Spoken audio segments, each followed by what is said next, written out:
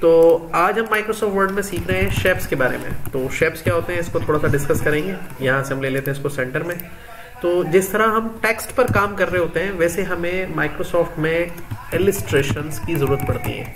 अब इलिस्ट्रेशन क्या होती है मतलब किसी चीज़ को भी आपने कोई शक्ल बना के, समझाने को आप इलिस्ट्रेशन कहते हैं। उसको हम शेप के ज़रिए कर सकते हैं। शेप बनाने के लिए आपको इंसर्ट में जाना पड़ेगा। यहाँ पे क्लिक करना पड़ेगा शेप के ऊपर। और शेप पे क्लिक करके आप यहाँ पे देखेंगे तो ये डिफरेंट किस्म के शेप्स आपको यहाँ पे नज़र आने लग जाएँगे। अब इस शेप में से जो भी आपको शेप समझ में आ रहा है आप उस पर क्लिक करेंगे एंड उसको ड्रॉ कर देंगे। ठीक है वो शेप बन जाएगा। शेप के दो हिस्से होते हैं। एक होता है इसका इनर पार्ट जिसको हम कहते हैं फिल क्या कहते हैं? Fill, fill. एक होता है इसका आउटर पार्ट जिसको हम कहते हैं आउटलाइन ठीक है ये शेप की आउटलाइन है और ये शेप का अंदर वाला हिस्सा है इसको हम फिल कहते हैं। बहरहाल, कोई भी शेप आप बनाने जा रहे हैं, उस शेप पे आप क्लिक करेंगे तो यहाँ पे आपको एक दो चार चीज़ें और अच्छी सीखने को मिलेंगी। हर कैटेगरी का आपको नाम यहाँ दिखाई देगा, ठीक है? और यहाँ पे हर शेप आपको दिखाई दे रहा है तो जो भी शेप आप क्लिक करेंगे, उस शेप पे क्लिक करके यहाँ से आप इसको ऐसे कर सकते हैं, ठीक है? अब इस शेप में आप जो है कोई भी कलर वगैरह जो चाहे फिल कर सकते हैं यहाँ से जैसे चाहे कर सकते हैं। लेकिन ये आप जो कलर फिल करने की बात मैं आपसे कर रहा हूँ ये आपको शेप पे क्लिक करने के बाद एक शेप का फॉर्मेट का टैब नज़र आएगा। लेकिन ये कब नज़र आएगा? जब आप शेप पर क्लिक, करेंगे, करेंगे। हाँ अगर आप शेप पर क्लिक नहीं करेंगे तो ये टैब भी नज़र नहीं आएगा। क्लिक करेंगे फिर नज़र आएगा फिर उस पर जाएँगे और यहाँ पे शेप स्टाइल्स पे क्लिक करेंगे। जैसे पाँच शेप के स्टाइल पे क्लिक करेंगे तो यहाँ पे आप देखेंगे कि यहाँ से आपको डिफरेंट किस्म के जो हैं, ये स्टाइल्स आपको यहाँ पे नज़र आ रहे हैं और इस तरीके से आप इनको यूज़ कर सकते हैं। ठीक है? क्लिक करेंगे, ये शेप इस पर अप्लाई हो गया। क्लिक करेंगे, ये देखिए इसके ऊपर ये स्टाइल अप्लाई हो गया।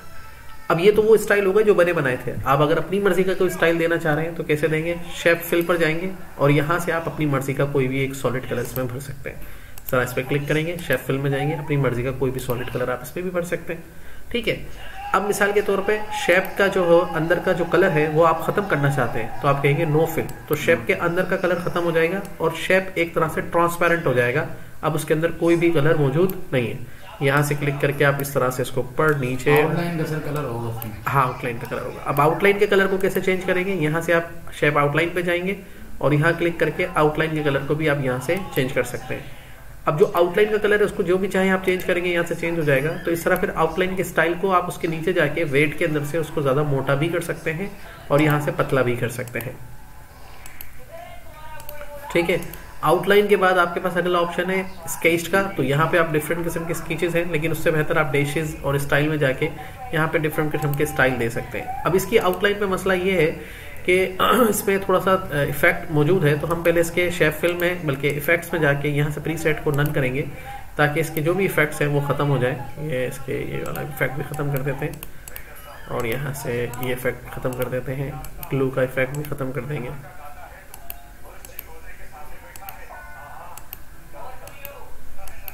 ठीक है।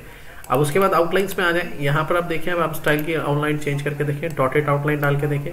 इसको थोड़ा सा आउटलाइन को यहाँ से थिक करके देखें।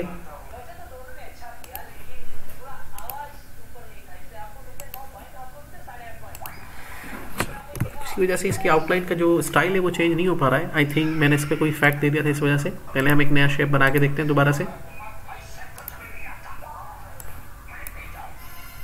ठीक है शेप आउटलाइन में जाते हैं। ये देखिए, इसके ऊपर स्टाइल चेंज हो गया। उस पर किसी इफ़ेक्ट की वजह से चेंज नहीं हो पा रहा था। तो यहाँ से इसका कलर भी चेंज कर सकते हैं। दोबारा से आपको आउटलाइन जो है, वही वाली चाहिए जो हमने इस पर अप्लाई की है। तो ये देखिए नॉर्मल आउटलाइन हो गई। अब इस आउटलाइन का कलर को भी हम यहाँ से नो आउटलाइन कलर करके यहाँ से खत्म कर सकते हैं। ठीक है? अब अगर नो आउटलाइन कर देंगे और नो फिल कर देंगे तो शेप का तो वजूद ही नहीं रहेगा, लेकिन शेप फिर भी रहेगा।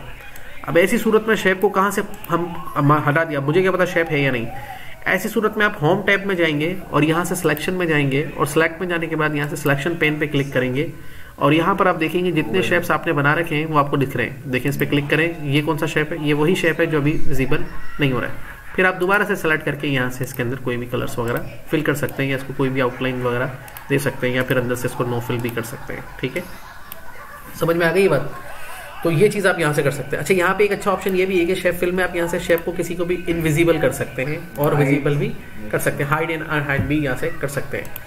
अच्छा अब ये भी चीज़ हो गई आपको समझ में आ गई। अब शेप को हम दीगर टेक्स्ट के साथ कैसे एडजस्ट करेंगे? अब इसको देखते हैं ज़रा। ठीक है तो अभी हम यहाँ पर आए। यहाँ पर हमने कुछ टेक्स्ट ले लिए।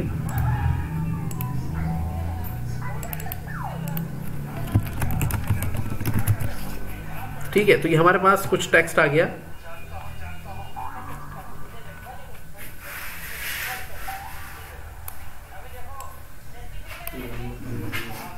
इंसर्ट शेप और यहाँ से हमने ये शेप अब इस शेप को इस टेक्स्ट के साथ कैसे एडजस्ट करेंगे?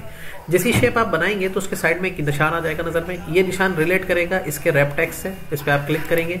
क्लिक करने के बाद आप देखेंगे इसको टेक्स्ट को आप इसके ऊपर नीचे एडजस्ट करना चाहते हैं।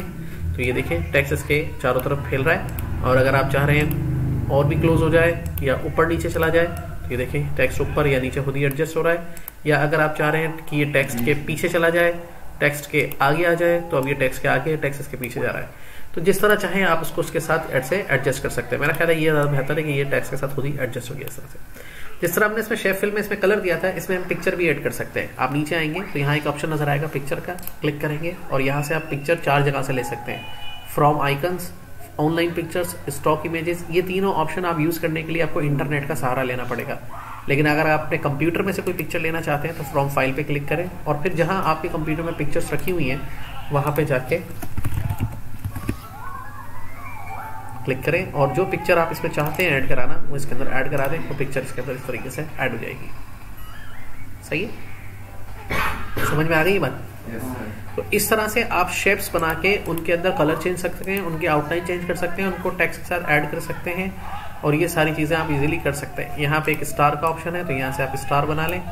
और स्टार बनाने के बाद इसको स्टार को यहाँ रख दें और यहाँ से क्लिक करके रैप टेक्स्ट से उसके साथ इसको सेट कर दें।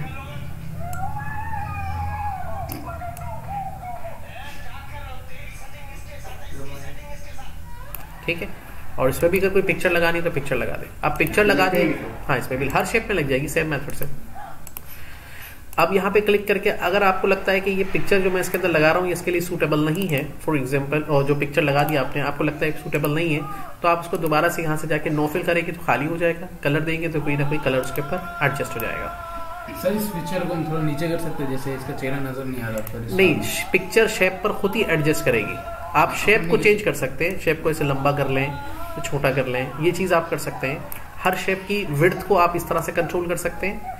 हाइट को आप इस तरह से कंट्रोल कर सकते हैं। इस अमल को हम कहते हैं? रीसाइजिंग ऑफ़ शेप आप शेप को डायगनोली भी रीसाइज कर सकते हैं, कम ज़्यादा कर सकते हैं, इस तरीके से। ये चीज़ें तो आप कर सकते हैं। बाकी पिक्चर ये नीचे आ जाए, ऊपर आ जाए, वो ऐसा नहीं हो सकेगा। वो शेप के अंदर पिक्चर फिक्स हो जाती है जाके। अब जैसे इसमें हम कोई पिक्चर लगा रहे हैं तो वो इसके हिसाब से ही एडजस्ट हो जाएगी।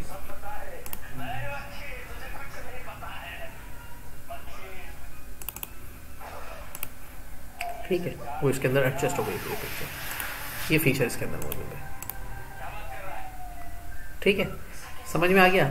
अब एक शेप को दूसरे शेप से कैसे चेंज करते हैं? जैसे ये शेप है, इसको मैं किसी और शेप से चेंज करना चाह रहा हूँ। तो देखिए, यहाँ पर एक ऑप्शन आ रहा है, यहाँ पे क्लिक करेंगे और यहाँ एक ऑप्शन आएगा चेंज शेप का। तो अब आप इसको किस शेप से चेंज करना चाह रहे हैं, वहाँ से क्लिक करेंगे और वो शेप में इसको ऑटोमेटिकली चेंज करेगा। विदाउट लूजिंग इस कंटेंट्स उसके कंटेंट भी सेम रहेंगे और ये ऑटोमेटिकली इसको ये चेंज करता रहेगा। ठीक है?